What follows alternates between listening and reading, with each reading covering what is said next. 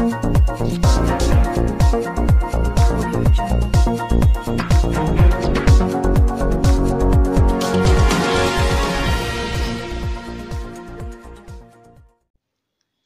জলমগ্ন, নেই কোনো থিম পুজো। তবুও রানীতলা থানার নির্মল চরের বাসিন্দারা মেতে উঠেছে পুজোর আনন্দে। রাধাপুরের বাসিন্দারা জানান, যোগাযোগ ব্যবস্থা বিচ্ছিন্ন হওয়ায় কষ্ট করে সমস্ত কিছু জোগাড় করেই এই পুজো করা হচ্ছে। তৌশিফ ইকবালের রিপোর্ট এএসআই নিউজ।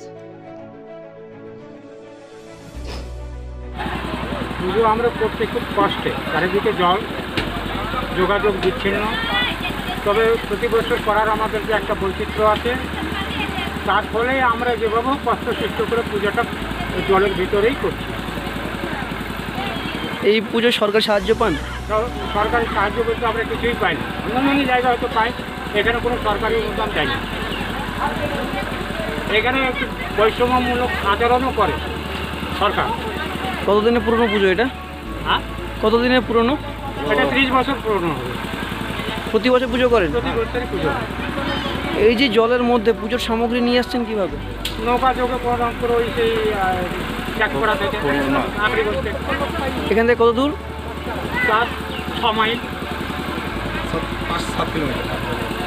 এইভাবেই তাহলে আপনাদের পুজো চলছে? এবার পুজোতে কেমন আনন্দ করছে স্থানীয় গ্রামবাসী? তবে এবার যেভাবে হওয়ার দরকার ছিল সেভাবে হচ্ছে একটু কম।